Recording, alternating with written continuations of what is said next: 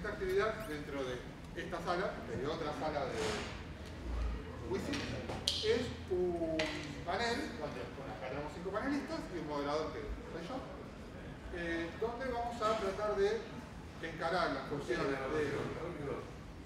Ah. donde vamos a tratar de encarar las cuestiones de enseñar y aprender a programar desde distintos puntos de vista. La idea es que esto sea un panel con debate, o sea que, eh, pero somos cinco panelistas, tenemos una hora para hacer el mínimo ordenado, cada panelista va a hablar unos minutos sobre algunos temas y después se abre a debate, o si alguno quiere hacer un comentario, preguntar o lo que fuera. Y está dividido en dos partes, como ya van a. Eh, entonces, bueno, los panelistas son María Belén, Bonilo, eh, Denis Pari, Diego, Vera, Tomás Perazo y Lucas Espigario. Y bueno, y eh, yo digo que la mejor forma de empezar es empezando, entonces va a empezar María Belén porque la tenga más cerca. La idea, María Belén, es que nos cuentes quién sos en algo así como 30 segundos, en particular en relación con la cuestión de enseñanza y aprendizaje de programación, que es lo que nos trae, y después hagas unos comentarios acerca de, largando a partir de tres disparadores, que son qué es programar y en qué consiste enseñar a programar cuál es el rol y la importancia y el foco y cómo encarar la relación entre estudiantes y docentes dentro de la actividad de enseñar a programar y cuál es la importancia y cómo encarar la cuestión de la capacitación docente, en particular respecto a la programación informática. Bueno, con ustedes, los expositores. Eh, bueno, ¿todo de corrido o solo primero me presento y paso el micrófono? No, no, no. Todo, corrido. Bueno, en cinco minutos, sin repetir, sin soplar. Eh, yo me llamo María Belén Bonelo, trabajo en la Fundación Sadowski eh, del Ministerio de Ciencia. Soy una de las personas que coordina la iniciativa Programar. hace un rato conté de qué se trataba en detalle, así que no voy a repetir eso, a pesar de que había mucho menos gente. Pero bueno, el tiempo nos apremia. Eh, el objetivo de la iniciativa es que dentro de unos años, estamos trabajando para que sea la menor cantidad posible, en todas las escuelas argentinas exista una materia de computación en donde a los pibes se les enseñe este, no solo a programar, sino más bien qué es una computadora, cómo funciona, qué es la tecnología informática, qué se dedica un computólogo y además a, programar las computadoras. Em, eso va a ocurrir, puede ocurrir dentro de 50 años o dentro de 10, nosotros vamos a tratar de que sea dentro de 10. Si me preguntan qué es programar, creo que es la técnica cultural de nuestro tiempo. Eh, la verdad es que el mundo en el que vivimos está crecientemente poblado y regido por, el uso de dispositivos tecnológicos y no comprender cómo funcionan, esos, cómo funcionan esos dispositivos es quitar, quitar a los chicos, quitarnos a nosotros un, modo de expresión este, que es fundamental y además nos, digamos, nos encierra en una jaula en la que los que están afuera deciden las reglas este, del mundo en el que vivimos. Por eso nosotros creemos que es fundamental que los pibes entiendan cómo funciona, para que no dependan de los expertos, para que puedan saber quién es un experto y quién no es un experto y que puedan también participar en la generación de las reglas del juego del mundo en el que vivimos. Em, bueno, ¿cómo enseñar programación en las escuelas? Eh, este es un desafío gigante que creo que el primer punto fundamental que tiene es eh, la formación de los docentes. Nosotros podemos crear una materia mañana, pero si no hay docentes que la dicten, esto va a ser una experiencia frustrada y la programación se va a transformar en mala palabra en las escuelas. Entonces eh, es fundamental que antes de que la currícula diga tecnología de la información o que diga computación o que diga programación, generar una masa crítica de docentes en condiciones de encarar este tipo de enseñanza. Eso con el esquema de, de hoy existen profesorados en informática, esos profesorados no forman, la mayoría, no estoy generalizando, no forman docentes en condiciones de, de encarar este tipo de enseñanza, en general el perfil del docente de informática está muy desdibujado, de hecho ya les contaba recién acá a los compañeros mientras charlábamos un poco afuera, que el Joaquín B. González, que es digamos, la institución de profesorado de referencia en todo el país, hace poco reformó el plan de estudio del profesor de informática y entre una de sus funciones le pone armar los sistemas de la escuela.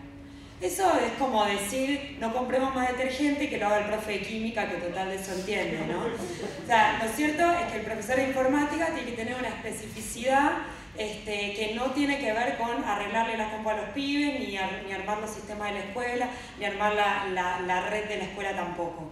Em, nuestra propuesta en concreto eh, hoy nosotros estamos trabajando con una red de 25 universidades en todo el país porque creemos que un objetivo fundamental es construir una comunidad de conocimiento sobre didáctica de la computación en Argentina. Esto hoy no existe. Hay algunos grupos de investigación en distintas universidades. Primero la Universidad Nacional de Córdoba, que está muy avanzada, que tiene equipo muy serio, que hace cosas muy interesantes. A los que les interese, después me buscan, les doy mi mail y les paso paper, data, información de todo esto. La UNCI también este, es otra institución de referencia. Acá se armó Gobstones, digamos, que, bueno, tiene muchas virtudes y, trabaja mucho también en formación de los docentes. Eh, nosotros trabajamos, como les decía, tratando de construir una comunidad de conocimiento sobre este tema y que las universidades sean quienes puedan formar a los docentes de, de cada provincia. Este año estamos ofreciendo cursos de formación gratuitos para docentes, pero para el año próximo, y en virtud de que hace un mes el Consejo Federal de Educación sancionó una resolución que venimos empujando hace mucho tiempo, que declara la programación de importancia estratégica y que crea una red de escuelas, ya termino. Eh, para el año próximo lo que estamos pensando es un esquema asociativo entre institutos de profesorado y universidades en las que los profesorados ofrezcan postítulos de como reconversión docente, porque lleva mucho tiempo impactar en lo que es el programa de los profesorados de informática. Hay mucha resistencia, entonces nosotros creemos que eh, primero hay que acercar a la universidad a los institutos de formación docente, que generando postítulos, digamos, se va a generar cierto vínculo y se van a perder ciertos miedos, y después va a resultar obvio que el postítulo está mucho mejor que la carrera y entonces el postítulo se va a volver la carrera en sí. Ese es nuestro plan maestro. Eh, ¿Cómo?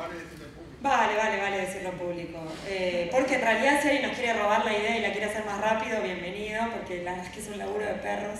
Este, pero bueno, eso. Después, el rol de los docentes, no solo en informática, sino en todas las disciplinas, está hoy, digamos, en plena reformulación, porque antes docente era el que, eh, la suma de todas las respuestas. Hoy, eh, bueno, eso en realidad nunca fue así, ¿no? Pero esa era la idea que, que se tenía del docente. Hoy los pibes en la clase van chequeando lo que el profesor dice y le están buscando el error y están tratando. Entonces, digamos, yo creo que eh, los docentes tienen que construir su seguridad como docentes no en, saber todas las respuestas de su campo disciplinar, sino en tener la capacidad para acompañar un proceso eh, pedagógico de aprendizaje. Eso es todo, después seguimos.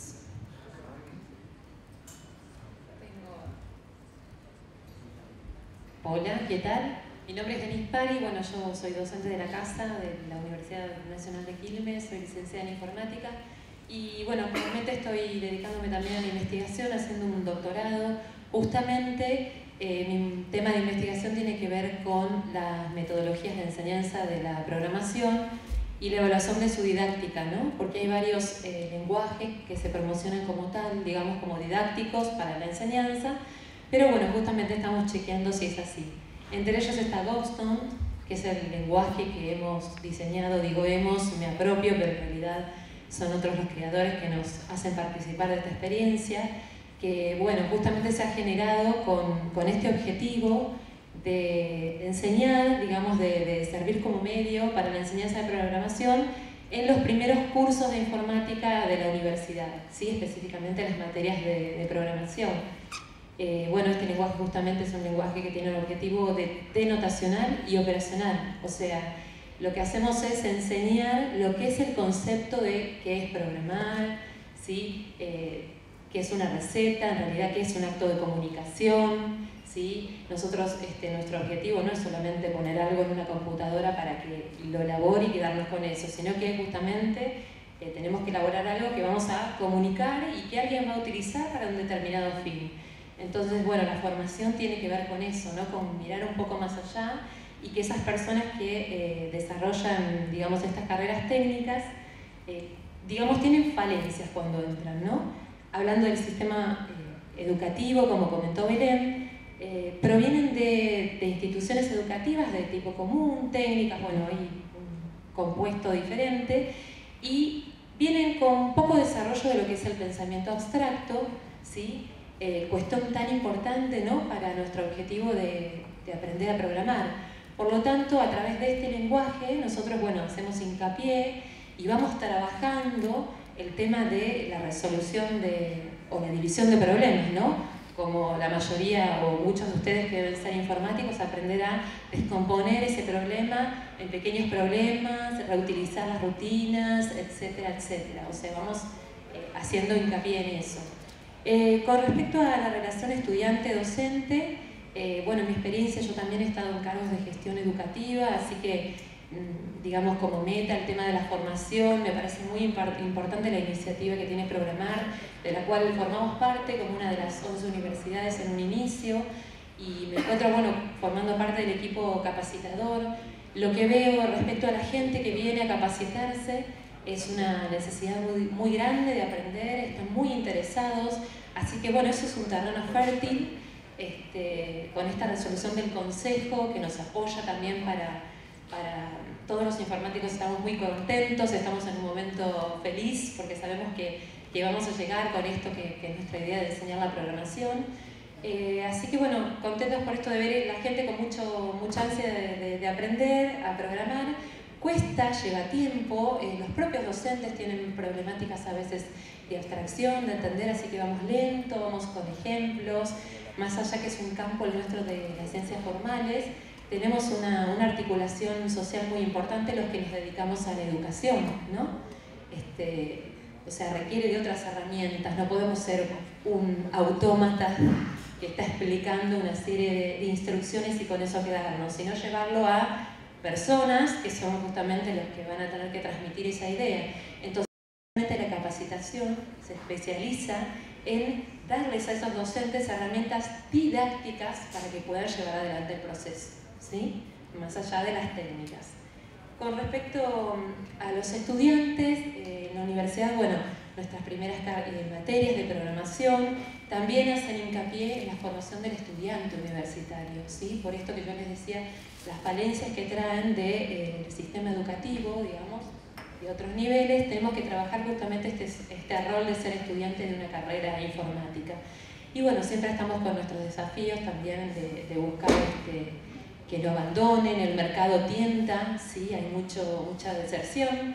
Nosotros en nuestra universidad no tenemos tanto porque justamente tomamos a nuestros estudiantes, hacemos tareas de, de tutorías con ellos, los guiamos, tratamos de, buscar, digamos, la mejor forma de articular los tiempos versus la carrera, porque realmente este, somos pocos los que nos dedicamos a la informática, ojalá que sean muchísimos más este, con estas iniciativas este, que trae, por ejemplo, programar y muchas otras que seguramente vendrán.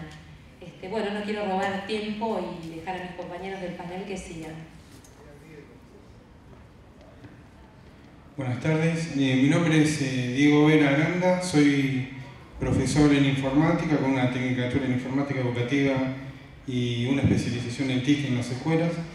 Y desde hace 20 años estoy trabajando en nivel medio técnico y 13 años que soy activista del hardware y software libre en las escuelas donde estoy enseñando. También bueno, estuve como capacitador a nivel provincial y nacional con algunos programas y bueno, encargado de aulas virtuales eh, de un programa de capacitación de un sindicato. Bueno, volviendo a, la temática, em, ¿qué es programar? Preguntó el compañero. Bueno, programar, primero tengo que ubicar en dónde estoy yo parado y dónde estamos, están parados ustedes. Generalmente nosotros eh, en mi escuela tenemos dos tecnicaturas, es tecnicatura en programación, que en, nueva se está encarando el año que viene, recién van a salir los primeros em, egresados de la tecnicatura en programación, y tecnicatura en informática. En ambas se encuentran los laboratorios de programación, una más específica que la otra. Y volviendo al tema de lo que es programar, ¿no? Programar desde el punto de vista técnico, como profesor, enseñando siempre de pizarra qué es programar, digamos, en, en los laboratorios, eh, nosotros decimos que programar es eh, escribir instrucciones a una computadora para ser ejecutado a través de un lenguaje de programación. ¿no? Ese, ese lenguaje de programación lo que hace es realizar el, cómo resolver un problema en este caso. Después, con respecto a la pregunta en qué consiste el diseño de programación, siempre desde el punto de vista técnico, después vamos a ir a, lo concreto, ¿no? a la experiencia, eh, es eh, que utilicen metodologías y, estructuras para poder realizar lo que es eh, analizar el problema, tratar de diseñar un algoritmo y de ese algoritmo un lenguaje de programación y luego depurarlo. Todo eso desde el punto de vista técnico como docente de escuela técnica. De nuestra experiencia, la relación que tenemos con los alumnos en cuanto a esto, nosotros tratamos de eh, de ver la evolución eh, abstracta que tiene cada, cada, alumno. Nosotros los alumnos eh, recibimos de los 11 años, ¿sí? es una escuela técnica que la carrera dura 7 años, donde en los primeros 3 años la formación es básica y después a partir del, del cuarto año empiezan a recibir la formación específica. En este caso nosotros apuntamos al desarrollo de un lenguaje de programación que estamos implementando en Gopton, que es de la Universidad de Quilmes, y viendo los, los, resultados positivos que obtuvimos en la Tecnicatura de Programación, lo estamos implementando también en la Tecnicatura de Informática, obteniendo resultados bastante interesantes para que los alumnos después empiecen a desarrollar en otros lenguajes de programación sin inconvenientes sobre la lógica de pensamiento sea para resolver problemas. En, este caso nosotros, eh, como parte del grupo docente, em, sobre la capacitación docente, surgen muchas necesidades, como planteaba Denise, en cuanto eh, que no están formados los profesores para poder enseñar, no tienen una metodología clara, ¿no? una estrategia didáctica o de enseñanza que podamos establecer para que el alumno pueda comprender bien lo que es la programación. Y bueno, con respecto a eso, nosotros eh, queremos eh, programar, programar ustedes en la universidad, eh, encarar algunos tipos de capacitaciones para que nos puedan preparar a, fondo y encarar lo que es la programación de nuestras tecnicaturas de cuarto a séptimo año y bueno, y establecer contactos así para poder mejorar la calidad educativa en una escuela pública.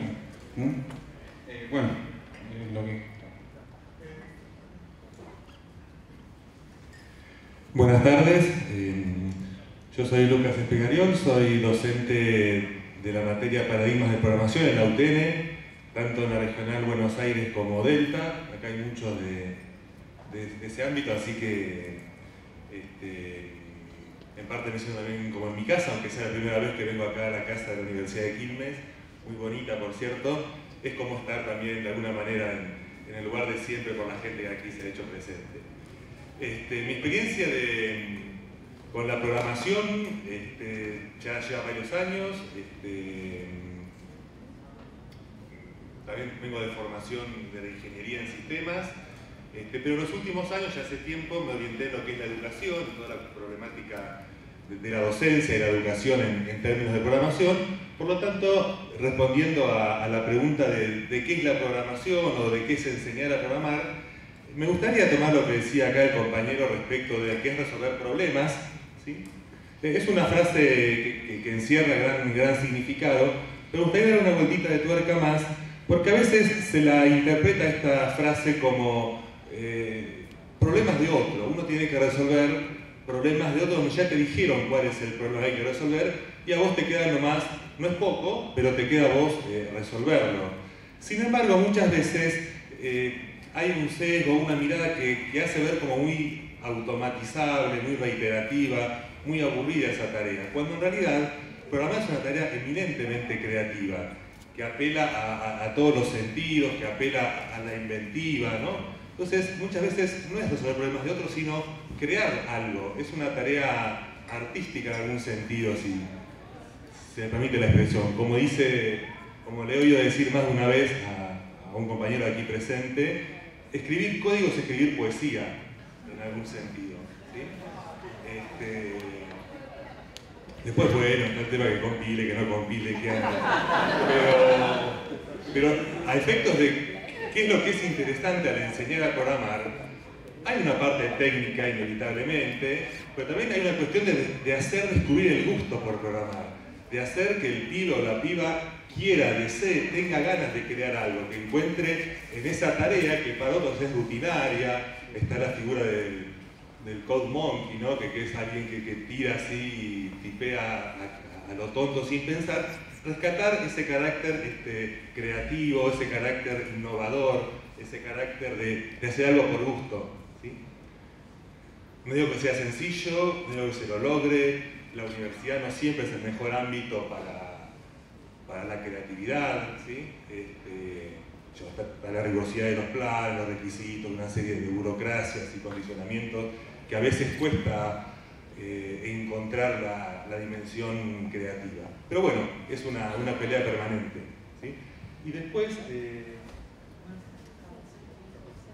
ah, respecto a la relación precisamente por, eh, por querer destacar esta faceta creativa de la programación, está bueno que la clase, que la dinámica del aula, este, si bien es innegable que el rol docente es distinto al, rol del estudiante, sin plantear un horizontalismo utópico que no existe, reconociendo las responsabilidades de cada uno, la propuesta creo que tiene que tener una dinámica más de taller que de clase.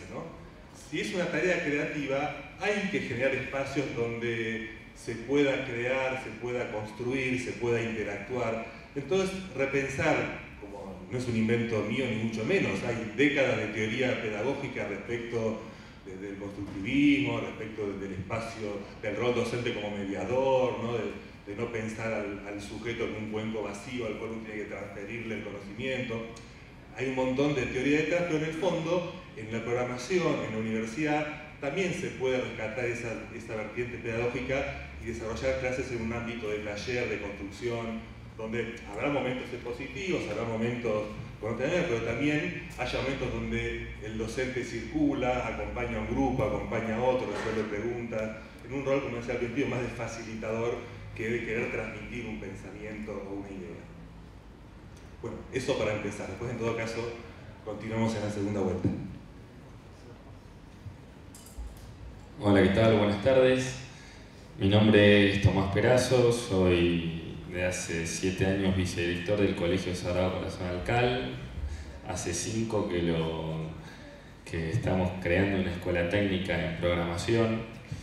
Este, también, bueno, hace 16 años que, que trabajo en, en, barrios populares, en Soldati y también en Villa Jardín, ahí en Lanús Oeste, junto a Riachuelo, entre las fábricas que, que contaminan y, y bueno, nosotros cuando yo veía las preguntas, ¿qué es programar? La verdad es que no sé qué es programar. Yo creo que tiene que ver con una elaboración donde se pone en juego la creatividad, la afectividad, la intelectualidad, el vínculo, para poder crear algo que está dentro, en el lenguaje contemporáneo y del futuro que nos media con el mundo y que nos comunica con el mundo. Y sobre todo yo anotaba también acá, es posibilidad, que es el sustantivo abstracto de poder. Es poder. Y cuando yo pensé, cuando pienso y vinculo la programación, sobre todo en los pibes de, Villa Jardín, en los pibes que dice que, Villa Jardín generalmente sale en, las policiales, en el diario. Entonces, para, eh, mal, pero sale mal, por, amarillismo sale, pero también podría salir en cosas hermosas. Este, ese poder que sí o sí tiene un horizonte ético-político. Nuestra escuela desde hace tiempo y siempre tiene un, horizonte donde sabemos a favor de qué educamos y contra qué educamos. Y, y, el educador que asume el lugar en la escuela tiene que saber bien esa opción. ¿Cuál es el horizonte? Y, el educador hoy es un técnico en programación, no hay tanta capacitación docente. Estoy enamorado de esta chica que acabo de conocer, porque el planteo que está haciendo es fabuloso, el poder formar este, docentes, porque es verdad que el sistema te pide algo que todavía no se enseña tanto, está acá, ustedes están, están fabulosamente hablando un idioma que yo no entiendo, este, lo cual yo me quedo maravillado, que tiene que ver con, con ese universo que estructura mundo, que es ese lenguaje o, o, múltiples lenguajes que veo que hay, que busca realmente acercarse con experiencias de los pibes, que esa es la relación. Nosotros ayer, personas maravillosas, son profes del colegio, ninguno título docente, todos profesionales, uno que generó todo el universo virtual del Garrahan, para que mucha gente se pueda hacer atender en el Garrahan, que viene de América Latina, entonces todo, todo ese campus que ese tipo está pensando en un horizonte ético-político, el hecho de programar y se lo muestra a los pibes y cómo se puede crear eso, ahí está la clave. Entonces cuando me decían, ¿qué tiene que hacer el estudiante? ¿Y cómo es esa relación? Y es una mediación, obviamente, que es vincular, es relacional, con conectarse con el otro. Yo te quiero enseñar este lenguaje. No, sabe mi nombre, campeón. Sabe cómo me llamo, sabe mi historia porque vos no conectás, el pibe no aprende. Y yo, no, pero didácticamente esto es más fácil, conectar. Conectar, conectar con el otro ser humano. Y hay que amarse. Es una experiencia amorosa, no hay vuelta. Entonces, ¿qué es programar? Y no sé para, yo sé para qué es programar, digamos, hay, hay que hacernos cargo de nosotros. La programación no tiene que servir para que nos hagamos mejor cargos uno de otro, no hay mucha vuelta, porque con un horizonte comunitario entonces, si nosotros podemos lograr que nuestros pibes piensen y se formen en esa lógica, van a tener un impulso para programar, que sí o sí va a ser transformador. Cuando veía el proyecto de Mumuki, donde el pibe va intentando y puede probar una y otra vez, y él es, él es consciente de su propia voluntad, y el mismo docente acompaña la voluntad del pibe, es maravilloso. Entonces, yo creo que ahí están como un poquito las cuestiones, ¿no? Esto, y ser situado. Hay contextos donde hablan otro lenguaje, donde el mundo se comprende de otra manera y donde la concepción vital es otra. Pero si yo al pibe le traigo las fotocopias y se las dejo acá y le digo que las lea, ¿por qué eso es un problema? Y es un problema porque el pibe también no las lee en ese lugar. Hay que seguir intentando, no hay que subestimar la capacidad del otro nunca, para comprender las nuevas lógicas. La virtud que veo acá es que toda persona que intenta, el programador tiene la magia, que, que rompe todo lo anquilosado, busca formas nuevas, busca crear. Entonces ahí en el programador hay un crear que es maravilloso. Entonces yo creo que un poquito va por ahí. Es muy difícil, en el docente tiene que haber ese ánimo impetuoso que es interno para que se logre algo así.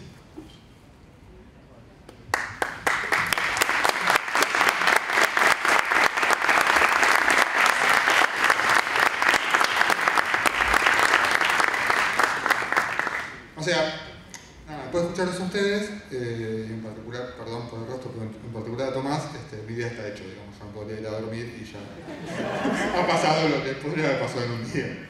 A pesar de eso, como la vida es un lujo, podemos seguir. Eh, a mí me gusta mucho, nada, yo, yo vengo al costado tequi, bueno, qué sé yo, y después ustedes me cortan y, y hagan.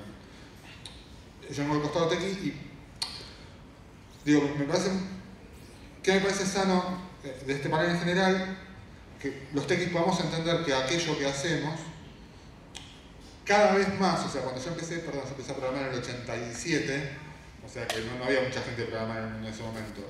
Estamos en 2015 y, y cada vez más los técnicos tenemos que entender que aquello que hacemos tiene un fuerte contexto social. Que ya no es un juego solo entre nosotros, que lo que hacemos influye y la forma en que lo hacemos y la forma en cómo lo planteamos puede influir mucho y puede influir mucho para bien. Nada. Y ahora, eh, quería decir eso, ya lo dije. Y ahora me gustaría que alguno de ustedes se anime a decir algo. Lo que les haya surgido, lo que tenga alguna idea que pueda provenir de su experiencia como alumno como docente, eh, o como programador, o como lo que sea, lo que tienen que hacer es animarse. Y yo les paso el micrófono.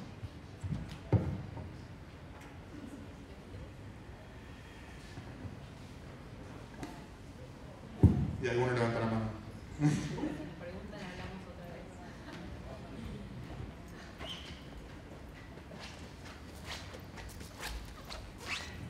¿Qué tal? Buenas tardes. Eh, mi nombre es Nicolás. Eh, soy licenciado en diseño, nada que ver con la programación. Con el tiempo fui metiéndome en el lado de la programación. Es un camino sumamente largo. Eh, todos los días estoy aprendiendo cosas nuevas.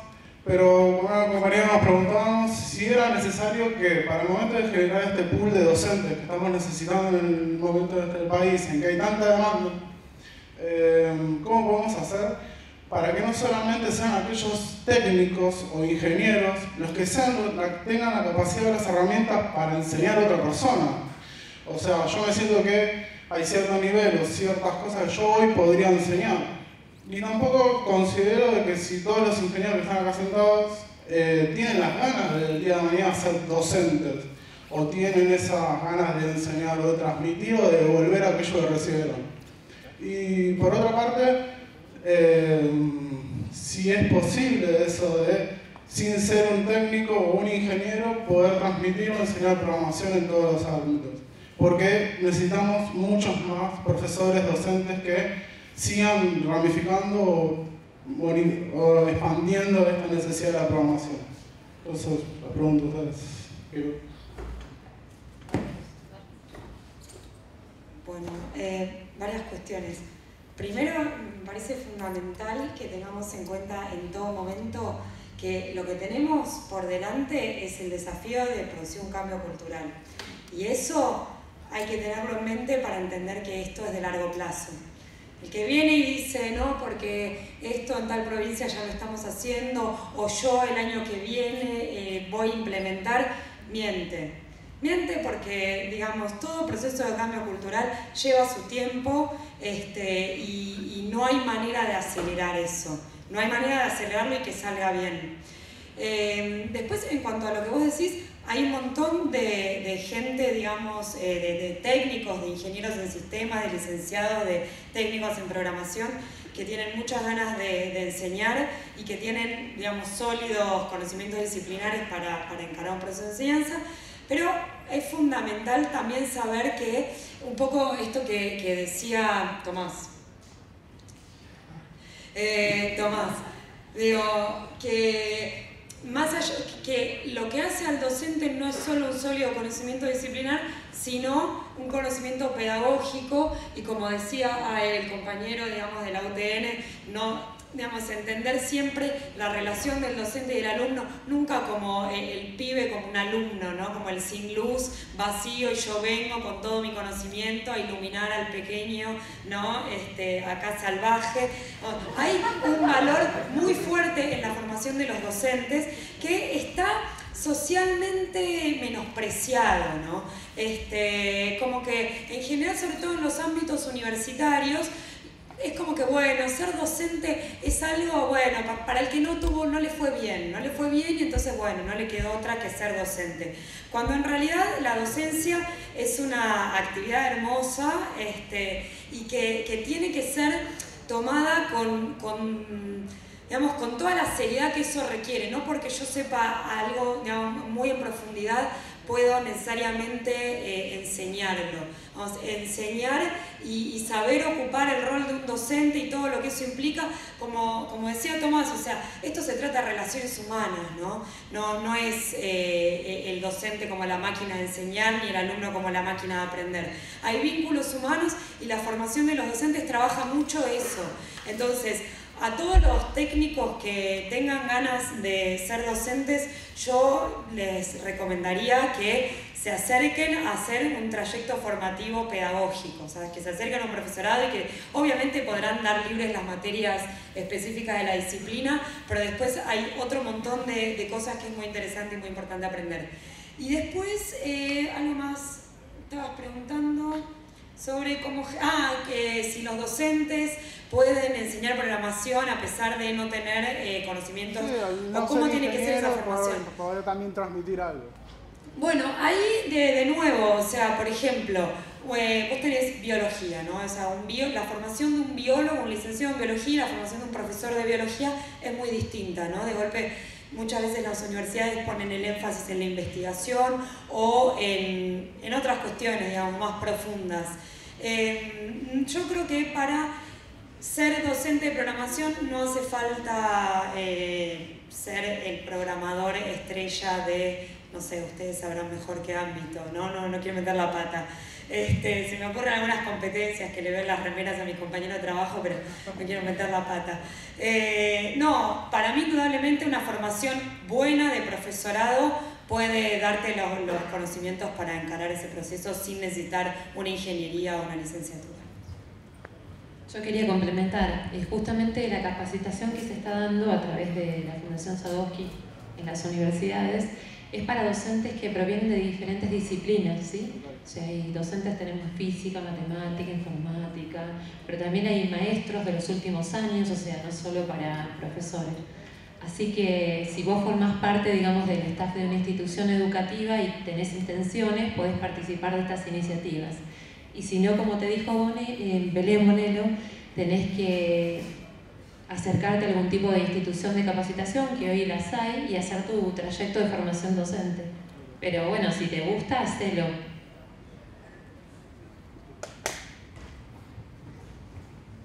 Yo quisiera agregar eh, un ejemplo frente a tu pregunta, ¿no? Eh, me consta, viendo acá unas cuantas caras, hay fácil 20 o 30 personas acá que habiendo estado un año o dos en la facultad, ya están siendo docentes de sus compañeros de los primeros años. ¿sí? Es más, diría que de esos dos o tres años que han cursado, el 60% son de materias que nada tienen que ver con la programación y que no ponen en práctica a la hora de enseñar. Digamos, eh, y muchos de los que hace años que, eh, que estamos haciendo programar también hemos empezado muy jóvenes con un mínimo de conocimiento técnico. No hace falta ser ingeniero para enseñar a un pibe que recién empieza a aprender a programar, de ninguna manera. Tener cierto conocimiento, pero lejos de tener que ser ingeniero, ser un gran experto programador que esté en la vanguardia de las innovaciones tecnológicas en materia de desarrollo de software. Muchísimas gracias. Sí, ¿qué tal? ¿Cómo están? Eh, mi nombre es Sebastián y quería preguntar algo no sé si directamente relacionado con el tema, pero me gustaría mucho saber su opinión.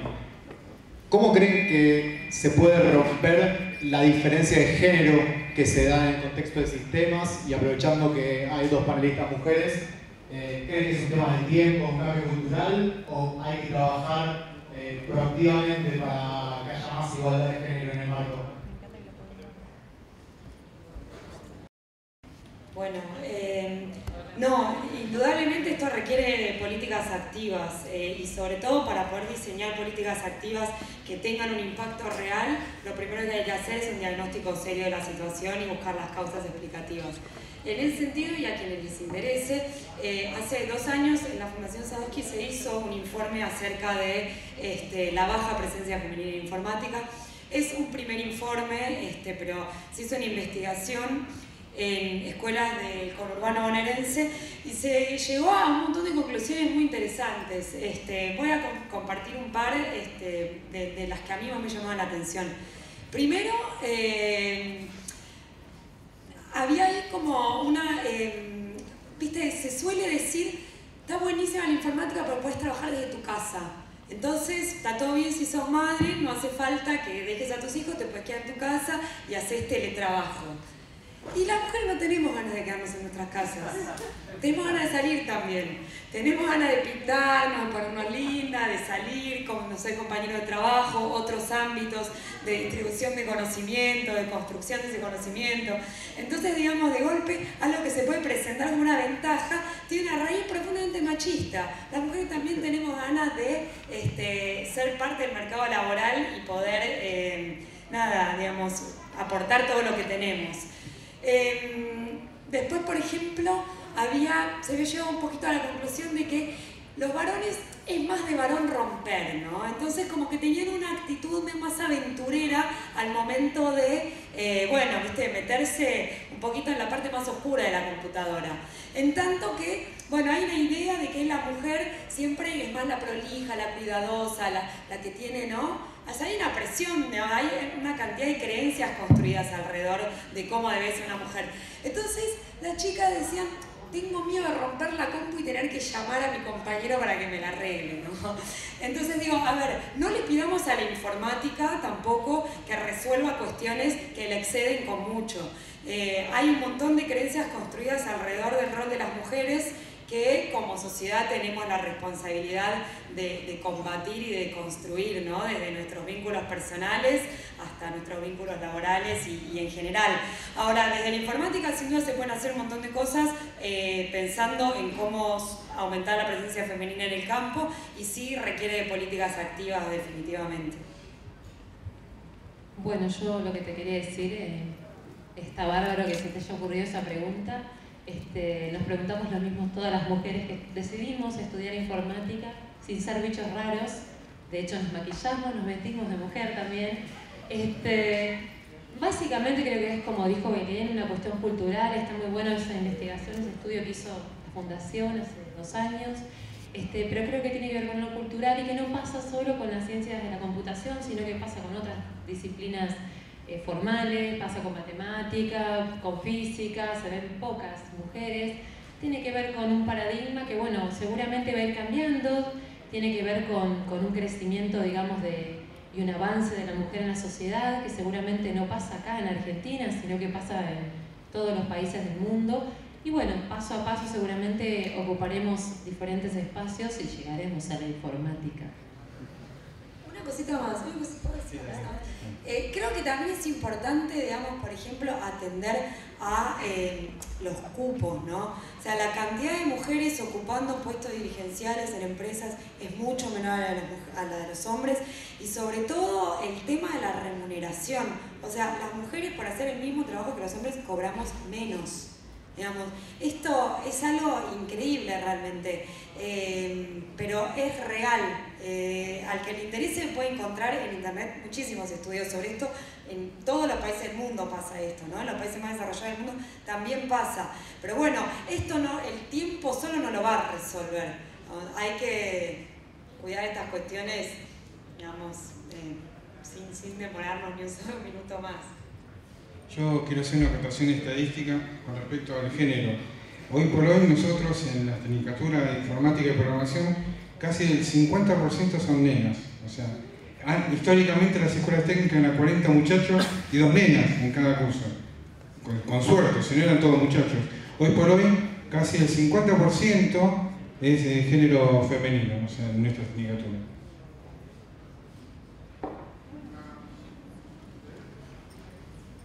Hola, eh, yo tengo una pregunta muy, muy concreta. Vos, Belén, te decía, bueno, si, si hay alguien acá que tiene una formación técnica y, piensa que, le interesa esto, hay un montón de lugares donde poder acercarse y decir, mira, yo tengo una formación técnica, ahora quiero, quiero la formación docente.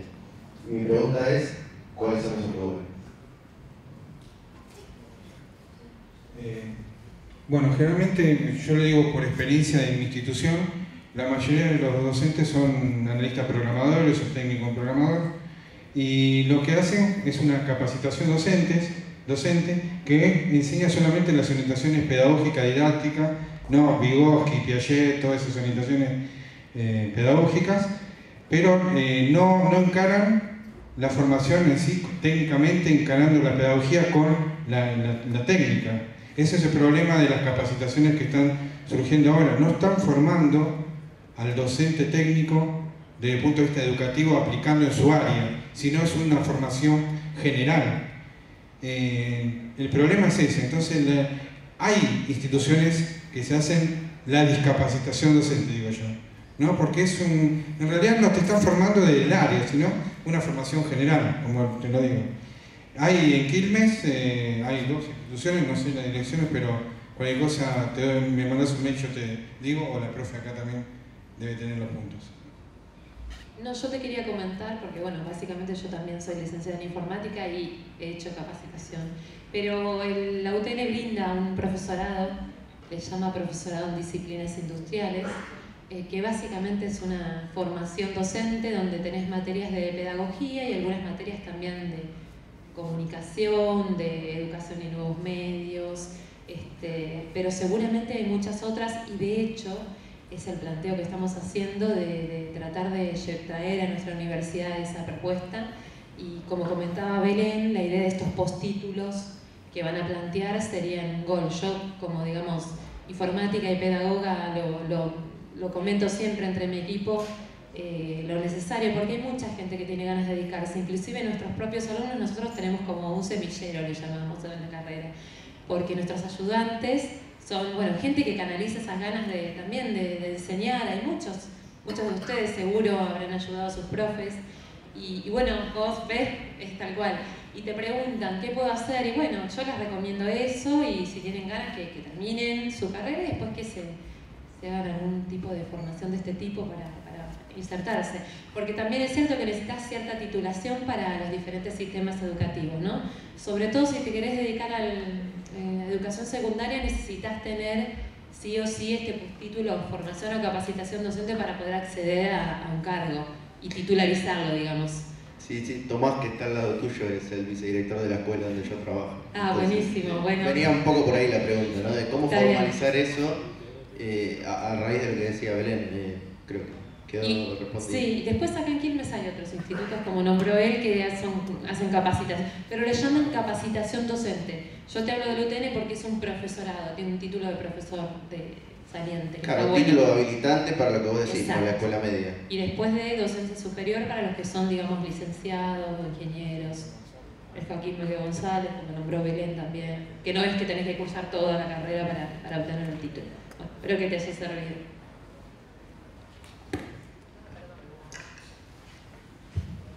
Respondo nuevamente desde, en este caso desde mi experiencia. Yo vengo de una formación de ingeniero y casualmente justo hice el profesor del cual estaban hablando ahí de, la UTN, del técnico, eh, donde compartía la cursada de las materias pedagógicas de comunicación junto con especialistas o profesionales de otras áreas, ¿no? de cualquier otra disciplina, un abogado, un doctor, lo que sea. Eh, obviamente suma, además de dar el título, que es un requisito en muchos espacios, es una oportunidad de, complementar.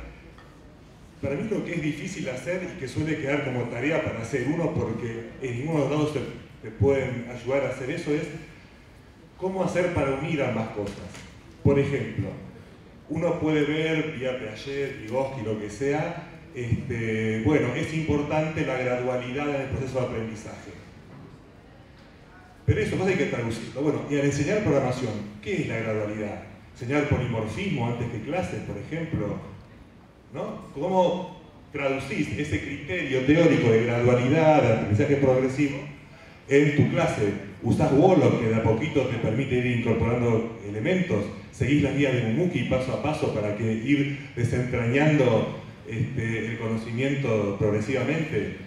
O por ejemplo, otra clave típica es, bueno, leer el contexto para desde ahí encarar tu propuesta educativa. ¿sí? Freire educación popular tiene mucho de eso. Bueno, ¿y en sistemas cómo hago? ¿Quién hace el trabajo de releer el contexto actual de la profesión para rescatar de allí qué criterios, qué valores, qué estrategias orientar con ellas tu propuesta dentro de tu materia?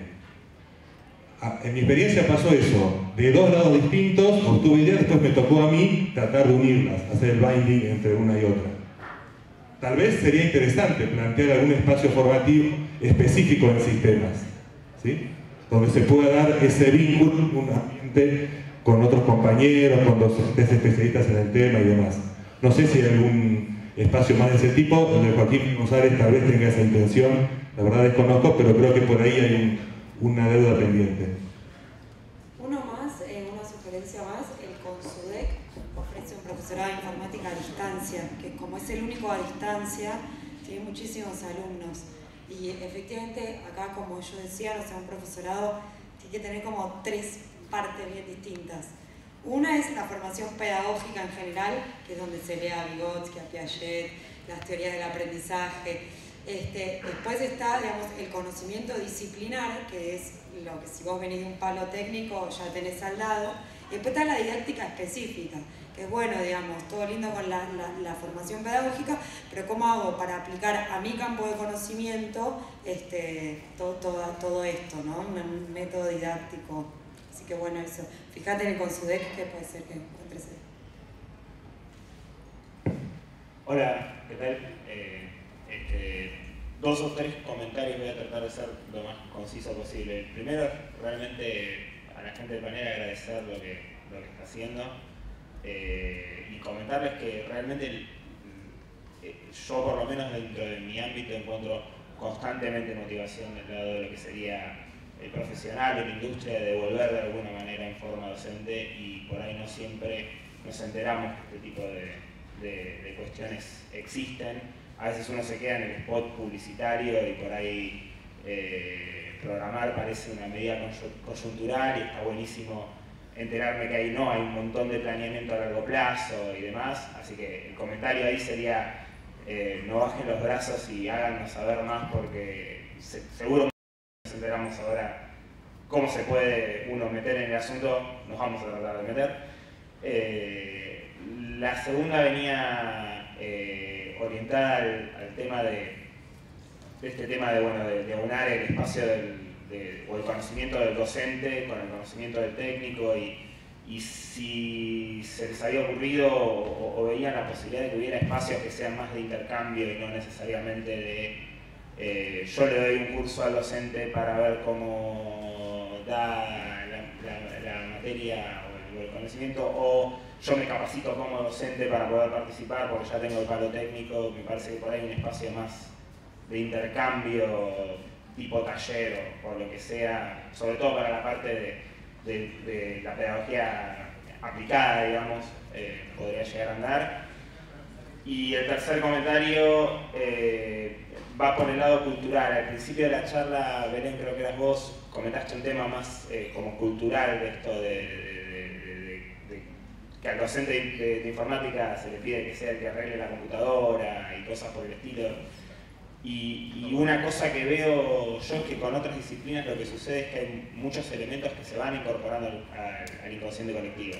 O sea, que yo, ninguno de los de acá por ahí somos abogados, pero hay conceptos de abogacía que existen porque forman parte del diálogo general. Uno ve una serie de televisión y, hay conceptos de abogacía que son más correctos que los que uno ve de informática, por ejemplo, en, esas series cosas por el estilo y si eso lo ven como un síntoma o como algo desde donde también se puede atacar, de empezar a meter culturalmente un conocimiento un poquito más formado, eh, sin tanto experto sanata, digamos, o, si es más el resultado de, después de que haya una formación. Y Perdón por tantas cosas este, mezcladas, pero bueno.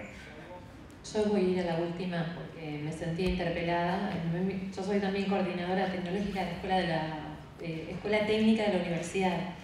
Y bueno, justamente conversábamos, lo que me pasa es eso, que entro, ni bien ellos me identificaron como coordinadora de tecnología, eh, se desbordan corriéndome por los pasillos, yo digo que alguno quizá un día de estos me hace una zancadilla, diciéndome que no le anda la compu. Entonces, este, obviamente lo que yo trato de hacer es, eh, bueno, acercarme a ellos, canalizar la duda y demás, pero trato de trabajar también mucho con los docentes, ¿no? Y, cuando ellos también casi me hacen la zancadilla, porque los adultos también entran en, colapso cuando no les han dado la máquina o lo que sea, o hasta te hacen, eh, te preguntan cómo se enchufa esto, no sé si les pasa, que parece que el rubro nos habilita electricidad también. Este, bueno, lo que hago es tratar de ayudarlos y digo, mira, te cuento yo como lo hago en mi casa o me pongo como la par y les muestro que en realidad es algo que no es del campo disciplinar, sino que es algo que aprendí como lo puede aprender eh, eh, la persona, ¿sí? Y bueno, es crear cultura también. Supongo que nos va a llevar un tiempo, es cultural totalmente, este, que se nos ponga en el mismo la bolsa como, como los expertos en la computadora y en el manejo, este, pero, pero va a ir cayendo y seguramente tenga mucho que ver con la formación este, que este paradigma cambie. Pero bueno, quizá lleve mucho tiempo. Yo quería, decir algo con respecto al tema de lo formativo y cómo se podría dar la formación a través del intercambio. Este, con respecto, primero a los, a los lugares que se habían mencionado, yo soy el que busca a los profes en la escuela. ¿no? Imagínate, estamos abriendo y se habilitan horas por todos lados este, para abrirse un cuarto, un quinto año, necesitas profes de áreas específicas y encontrás. Entonces, conozco bien cuáles son los, cuáles son los títulos habilitantes de la formación. Y, son los que salieron, no hay muchos más. Y, Y es verdad que como espacio formativo, yo sé que acá, digamos, muchos profes de acá de la, de la UNCI tienen una lógica este, que es que, hayan, que los pibes se enseñen, ¿no? se sumen a ayudar y son muchísimos que están ayudando y dando clases en otros lados, que eso lo hacen casi todas las universidades del conurbano, están teniendo esa lógica, suman a muchos pibes para, para ir enseñando y, y ir colaborando y van ganando experiencia docente, vocación docente. Si se generara un espacio de intercambio tipo taller, o no sé, en el foro, o si en los foros que se pueden establecer en la educación a distancia, donde se intercambien esas experiencias, yo creo que sí, es lo más rico cuando más se aprende. Y obviamente que se aprende de la práctica. El ser docente, hay el, decían, el, por ejemplo, el profesorado de la UTN. Tenemos profes que adicionan al profesorado de la UTN. Ellos mismos reconocen y dicen, no, todo esto que vos me estás mencionando no lo vimos nunca. No lo vimos nunca. Desde, y que tiene que ver que tiene que ver con lo vincular, que tiene que ver desde el posicionamiento de un espacio áulico, que tiene que ver desde, desde cómo vas de lo simple a lo complejo, que tal vez es intuitivo, pero no se ve en ese lugar. Y después, en las prácticas tampoco hay observaciones sobre eso, en detalle, que enriquezca, que te hagan reflejo sobre eso. Entonces, generalmente la formación se termina dando cuando el tipo está y se pega palos todo el tiempo y pasan 3, 4, 5 años que estás practicando como docente. Bueno, lógico, siempre se aprende, ¿no? Esto en cualquier área pero, pero sí, es necesario tener una base, está lo otro y obviamente siempre el laburo a modo de taller, a modo de encuentro con el otro, el intercambio de experiencias es más rico en cualquier materia, en general. En ese sentido. Sí, es romper la lógica expositiva para sumar otra cosa. Cierro con esto como anécdota cuando te toca trabajar con gente, con informáticos que nunca hicieron ningún tipo de profesorado ni capacitación docente, sucede que, por ejemplo, te plantean algo así como, trabajamos en equipo, no los docentes, qué bueno estaría que trabajen en grupo y así trabajando en grupo seguro van a aprender juntos. Se me ocurrió esta idea y yo por dentro pienso, sí, eso lo descubrió Vygotsky hace cientos de años. Eh, te da esa formación de que vos conoces que hay teorías atrás y que el aprendizaje social, el andamiaje, bla, bla, un montón de cosas. O sea, te da ese bagaje quizás, eh, conocer. Ahora, yo sí creo que esto sucede en, me va cortando, en todas las profesiones que vos vas aprendiendo después con la práctica. No solo los docentes, hasta los que son docentes plenamente te dicen que aprendieron con sus primeros grupos de alumnos y fueron, digamos, creciendo a medida que, que fueron cursando su, trabajo, digamos. Así que no es solo algo que nos compete a los informáticos que hacemos capacitaciones docentes, mejorarnos a todos los docentes.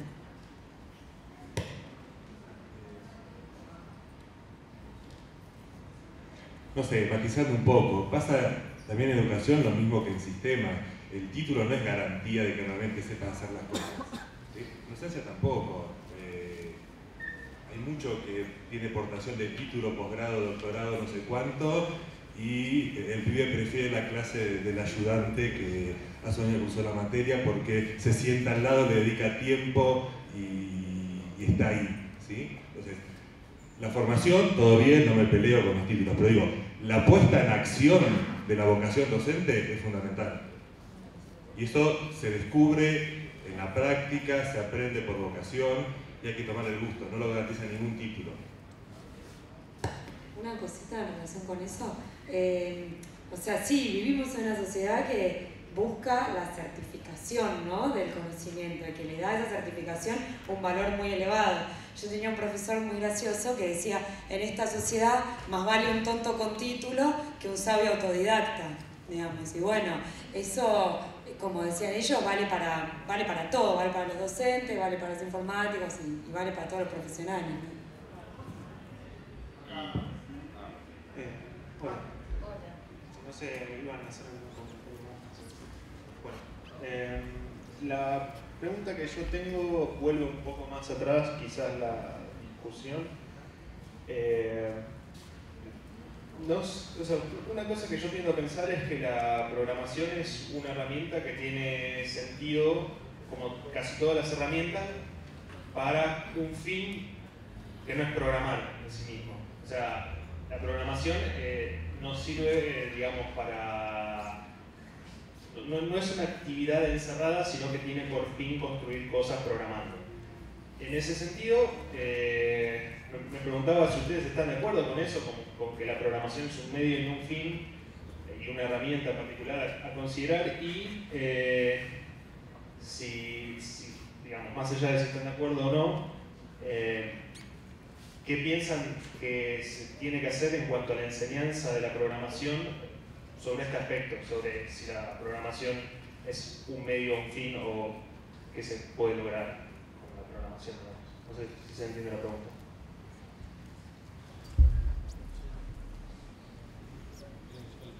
Creo que este, yo, no, yo creo que una de las cosas que, que, había mencionado tenía que ver con que creo en un principio es un medio, el fin es el ser humano este, y el mundo en el que vivimos.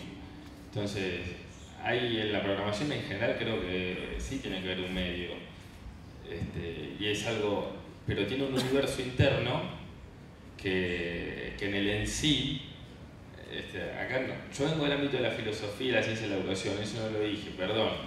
Entonces cuando me metí de concepto que me está matando entre medio fin, ¿no? En la cabeza de los otros no sé qué está pasando, pero mi cabeza se vuelve loco cuando escucho esos dos conceptos juntos.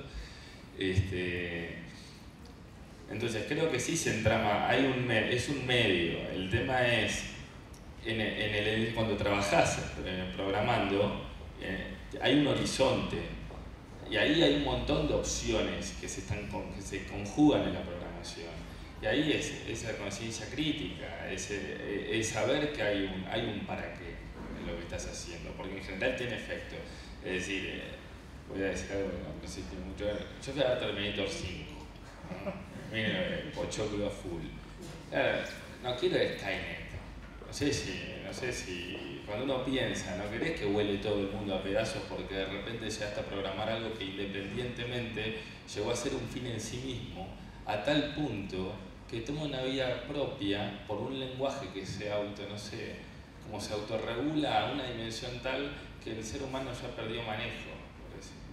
Si bien ya no, si no podemos controlar el mundo, pero realmente no lo podemos controlar, porque gracias a Dios la naturaleza nos trasciende, está inerte, somos naturaleza y a la vez nos trasciende.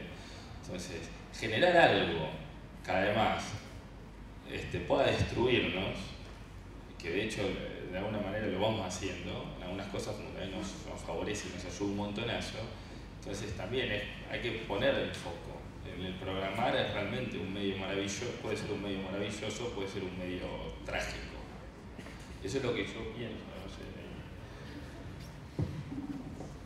No, yo contesto pero desde otro ángulo. Me parece que, bueno, primero como tantas otras preguntas booleanas, el depende es una buena respuesta.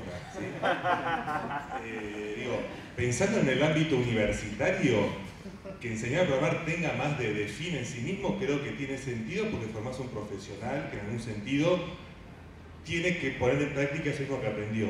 En la escuela secundaria, desde la perspectiva de programar para todos y todas, creo que el objetivo es otro Programarse un elemento más que te sirva para facilitar otros aprendizajes, otras destrezas, otras habilidades, no para que todos sean ingenieros en sistemas.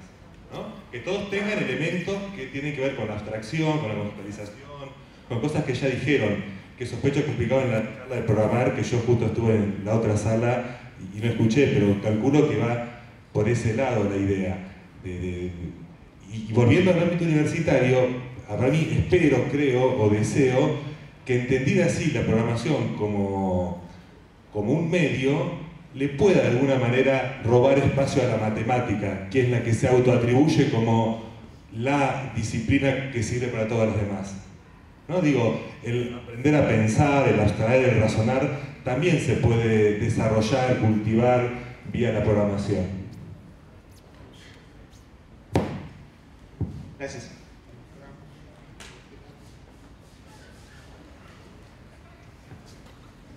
¿Qué tal? Eh, bueno, yo pensaba lo siguiente. Eh, la, educación de la programación en general muchas veces está llevada a cabo por gente joven. en mi experiencia personal, por ejemplo, en UTN, si agarramos la cátedra de paradigmas, es una cátedra donde la media, eh, o sea, el promedio de edad es menor a 35 años y la media será 28 en los profesores. O sea, eso creo que habla de que tenés una cátedra joven y creo que es un patrón que se da en muchos ambientes, no solamente eh, en universitario. Nosotros somos gente joven, los que veces enseñamos sobre programación, eh, como antes, como medio, como fin, ¿no? pero estamos muy influenciados por ideas jóvenes, ideas nuevas y somos en general constantemente conformistas, ¿no? siempre somos conformistas, siempre nos gusta ver cómo mejorar las cosas, tenemos por ejemplo mucha influencia en el manifiesto ágil, por decir que, eso nos, marca juego. Y muchas veces, a mí me pasa y creo que a muchos pasa, que sentimos que nos queda chica el aula, el aula en el contexto formal, tradicional, eh, universitario. Y si podemos hacer estos cambios, cuando eh, digamos, podemos ser uno de los que están al frente del aula o que coordinan el grupo, eh, a veces lo que es el, formato tradicional, en la facultad, con materia, con niveles, en formato secundario, primario, con competencia, con unidades temáticas aisladas, ¿no? nos hace sentir que nos queda un poco chico el modelo formal educativo. Entonces la pregunta es cuáles son no los límites de la fundación, sino los límites de la educación de la programación en tanto está en el marco formal tradicional. Y puesto también de otra forma, como punto complementaria, hasta qué punto o de qué forma podría o usted podría eh, estas nuevas formas de encarar la de programación también revolucionar la forma en general que enseñamos otras cosas, porque Lucas decía la matemática y creo que es eh, alguna idea que aplica mucho, o sea, muchos problemas que a veces se mala educación de la programación son intereses que se ven en la mala educación de la matemática. Sí, pero lo dejo subir de ahí.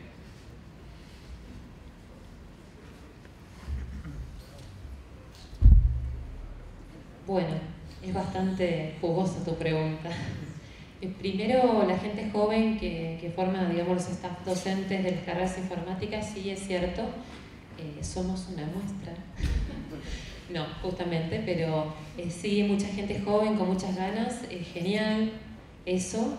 Este, también hay gente joven que tiene muchas ganas de formarse, fíjate que las preguntas tienen que ver con eso, tienen ganas de aprender y ese esa motivación, digamos, hace que cada vez vayamos creciendo más todos, nuestros alumnos sobre todo, ¿no? Eh, estamos en una esencia como en otras donde, creo que la mayoría en realidad, donde nada está acabado, donde a veces el alumno te hace un comentario y hasta sabe más que vos, y vos simplemente o mediás y le decís dónde puede ir a buscar, o le decís, mira, la verdad lo voy a investigar, lo googleo y te lo contesto. Este, así que bueno, el tema de, de la gente joven está buenísimo. Este, no me acuerdo la otra parte de tu pregunta claramente, no sé si alguno quiere comentar algo más. Yo quiero apuntar respecto a la experiencia institucional que tengo en mi escuela. No es la media que decís vos en programadores, o sea, los míos de 40 y pico por arriba. La disposición de ustedes que son nativos tecnológicos, nosotros somos inmigrantes tecnológicos, eh, es muy, muy diferente, la brecha es grande, ¿no? Ustedes tienen una, eh, el mundo Google, el mundo Internet, todo el alcance, el tiempo para investigar, todo. Nosotros ya venimos carreteando 20 años de docencia, 15, estamos medio cansados, pero algunos tienen ganas de, aprender, de seguir formándose, de ser un nativo entre los inmigrantes, o sea, pero bueno, eh, nosotros necesitamos en la educación gente como ustedes, gente que tenga ganas de enseñar lo que es la programación, capacitándose, o sea, con nueva estrategia de enseñanza. Eh, eso es lo que queremos nosotros y vemos en, ustedes las ganas de formarse. Tenemos una generación de programadores de mi época, RM Cobol, Pascal, ¿no? Y transformándose, bueno, llegar a ser el lenguaje C que estamos implementando en nuestras escuelas. Pero bueno, lo nuevo, el objeto, o sea, estos, si yo quiero implementar Mumuki o eh, Wallach ¿no? en esos lenguajes, va a ser complicado enseñar a este tipo de, de profesores que son resistencia al cambio, tienen resistencia al cambio. ¿no? Es complicado. Si ustedes eh, apuntan a una determinada meta, bueno, bueno, sí, eh, tendríamos éxito en la educación, pero bueno, Ustedes son los que van a generar esto, las nuevas tecnologías de programación y nuevos eh, profesores en, programación. Ustedes tienen la mano para seguir eso. Así que, bueno, no sé si te contesté, pero es una inquietud mía. ¿no? Hay otra parte de la pregunta, vos hablabas un poco de, de lo que es afuera y yo te quería comentar, por ejemplo, en nuestra carrera, en la tecnicatura y en la licenciatura, nosotros eh, formamos una comunidad, le llamamos la comunidad de CPI, este, donde interactuamos también no solamente en lo que son las cuestiones académicas, sino que nos comentamos sobre actividades, formamos grupos de investigación, invitamos a los alumnos a nuestros eventos informales, en nuestros eventos formales. Esa es una forma, creo que con esto te respondo un poco a esa idea de no solo lo del ámbito formal, sino que también formamos comunidad. Nos parece que eso es muy importante.